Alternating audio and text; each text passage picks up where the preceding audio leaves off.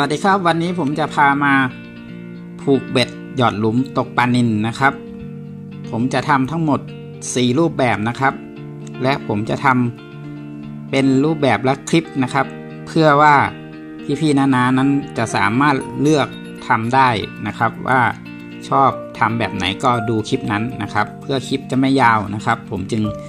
แยกคลิปเป็น 4 คลิปนะครับรูปแบบที่1นนะครับที่ผมจะมาแนะนำวันนี้ คือรูปแบบการผูกเป็นเบ็ด 2 ตานะครับ ใช้เบ็ด เบอร์ 11 นะครับ 2 ตานะครับ แล้วก็ตะกัว 2.5 กรัมหรือ 2 กรัมก็ได้นะครับ อันนี้ผมตัดออกมานะครับ ตัดออกมาจากอ่า5กรัมนะครับ ก็เป็นทรงกลมก็ได้หรือว่าจะเป็นทรงแบบนี้ก็ได้นะครับ โอเคครับเรามาดูวิธีการผูกเบ็ด หยอดหลุมตกปลานินนะครับ ก่อนอื่นเราใช้ N 20ปอนด์นะครับ จะโหลดไม่โหลดก็เอาที่เราชอบนะครับ ก็ตัดมา 40 เซนนะครับ คืบหนึ่งของเรานี้จะยาวประมาณ 10 เซนกว่าๆนะครับ แล้วเมื่อเราตัดเอ็นของเรามาแล้วนะครับ เราก็ มาสอดใส่ลูกปัดนะครับ ลูกปัดนี้ผมใช้ลูกปัดเล็กนะครับ สอดใส่ลูกปัดก่อนนะครับ แล้ว ตามด้วยตะกัวนะครับ ตามด้วยตะกัว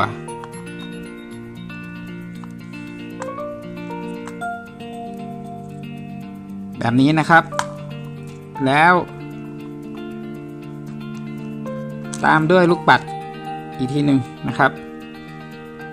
ลูกปัดนี้จะใช้สีอะไรก็ได้นะครับ ถ้าเป็นสีสันสีแบบดีๆหน่อยก็มันก็เล้าให้ใจปลามันก็เล้าใจปลานะครับ ให้ปลานั้นมาคาบออกจากหลุมของมันนะครับ แล้วก็ตามด้วยลูกหมุนนะครับ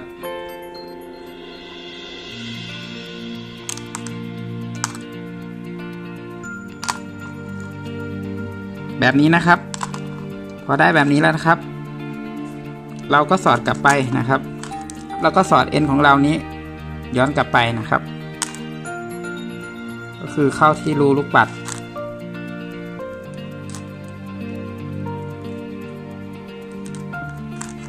แล้วก็เข้าที่รูตะกัวนะครับ แล้วก็เข้าที่รูลูกปัดอีกทีหนึ่งนะครับ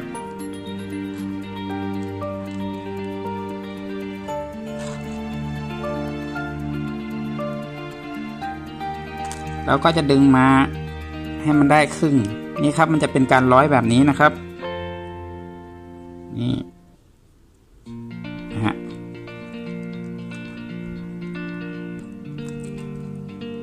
แล้วเราก็ทบครึ่งให้มันเท่ากันนะครับ เมื่อได้แบบนี้แล้วนะครับ แล้วก็นำปลายสองฝั่งนี้นะครับ โค้งเข้ามาหากันแบบนี้นะครับ ปลายสองฝั่งนี้โค้งเข้ามาหากันนะครับ โค้งเข้ามาหากันแบบนี้นะครับ ทาบไว้ตามความถนัดของเราครับ เหมือนกับผูกเบ็ดอ่าสองทางที่ผมเคยทำคลิปไว้นั่นแหละครับคล้ายๆกันนะครับ ก็ล็อกไว้แบบนี้แล้วเราก็สองเส้นนี้นะครับ แล้วก็หมุนทับไปเลยนะครับ พันเข้าหากันประมาณ 10-15 รอบนะครับ นี่ผมได้ 3 แล้วครับ 4 5 6 7 8 9 10ผมเอาสิบรอบนะครับ รูตรงนี้นะครับ อ่า เราจะใช้ ชุดนี้ของเรา มุด มุดเข้ามานะครับ มุดข้ามมาแล้วก็ข้ามออกไปแบบนี้ ข้ามออกไปแบบนี้ มันก็จะเป็นรูปร่างหน้าตาแบบนี้นะครับ เราก็จะจับสองฝั่งนี้ไว้อยู่นะครับ แล้วเราก็จะดึงรูดเข้าไปครับให้มันขดก่อนแล้วก็ เราก็ยืดออกมาแบบนี้นะครับรูดๆออกมาก่อนแล้วเราก็ดึงเข้าไป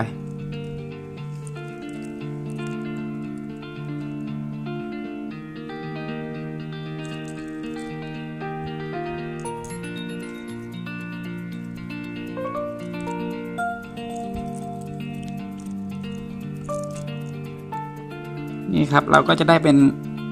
สองทางแบบนี้นะครับ แล้วมันก็จะล็อกตะกัวล็อกอลูกปัดเราไว้แบบนี้นะครับ ถามว่าทำไมเราต้องใส่ลูกปัดหรือว่าใส่ดักหน้าดักหลังนะครับ เพื่อว่าเวลาเราวัดขึ้นมันก็จะไม่ติดกิ่งไม้ติดสว่าอะไรนะครับ หรือว่า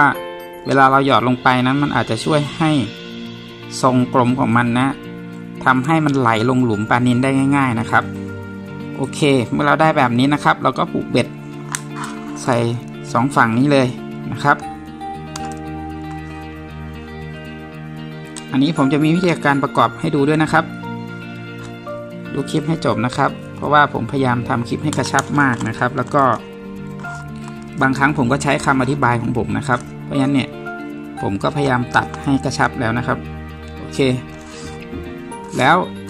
เบ็ดที่ใช้สองตานี้นะครับ จะใช้เบ็ดเบอร์ 10 ถึงเบอร์ 13 นะครับอันนี้ผมใช้เบ็ดเบอร์ 11 นะครับ เราก็ผูก ประมาณนี่ครับประมาณสัก5ถึง8เซนนะครับผูกเพราะว่าเวลาปลานินมันข้ามมันจะบางทีมันจะไม่คาบตัวเบ็ดมันจะคาบตรงนี้ พอมันคาบตรงนี้ปุ๊บเราก็ตวัด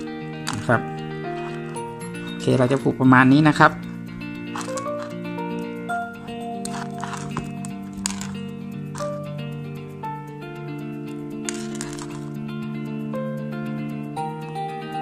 นี่ครับเราก็จะได้ชุดหยอดหลุมปลาเนียนแบบนี้นะครับ ส่วนการประกอบเบ็ดนะครับสำหรับมือใหม่ ก็คือ stopper stop อ่าใส่ stopper เข้าไปนะครับ นี่ไปไกด์เรานะครับ